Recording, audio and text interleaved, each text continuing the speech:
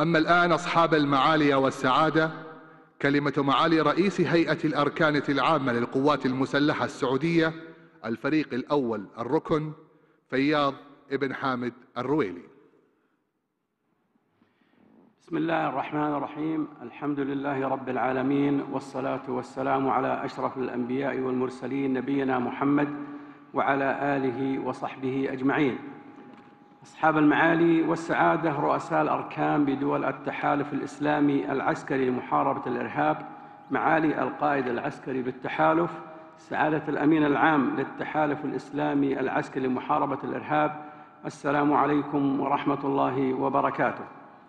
ونحن اليوم نعقد اجتماعنا الثاني لرؤساء هيئات الأركان لدول التحالف يسرني أن أرحب بكم. أجمل ترحيب بالمملكة العربية السعودية التي تشرف بتواجدكم على أرضها المباركة. فأهلا ومرحبا بكم بين إخوتكم وزملائكم.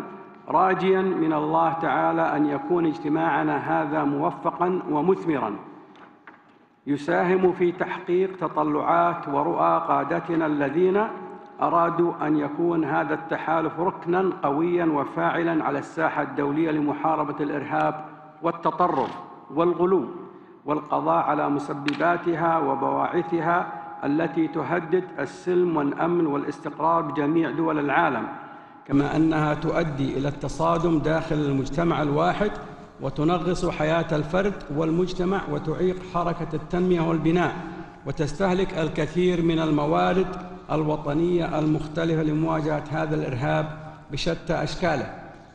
أصحاب المعالي والسعادة إن دولنا المتحالفة لم تألو جهدا لمحاربة الإرهاب وقطع تمويلاته ومواجهته ميدانيا بكافة الوسائل الممكنة والسعي لتصحيح الأفكار المتطرفة التي لا شك أنها تقف خلف قيام هذا الإرهاب وانتشاره كما أنها تغرر بشريحة من الشباب لغرض تجنيدهم في صفوف المنظمات والتيارات المتطرفة والإرهابية التي تمارس العنف المسلح.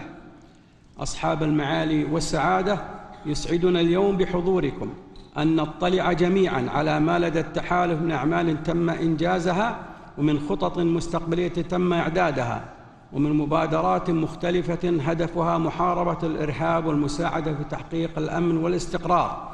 ولا شك أن الزملاء بالتحالف قد استفادوا من دعمكم لهم.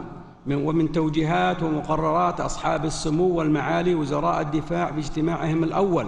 وكذلك من توجيهاتكم أنتم أصحاب المعالي والسعادة ومتابعتكم الدائمة لهذه الجهود.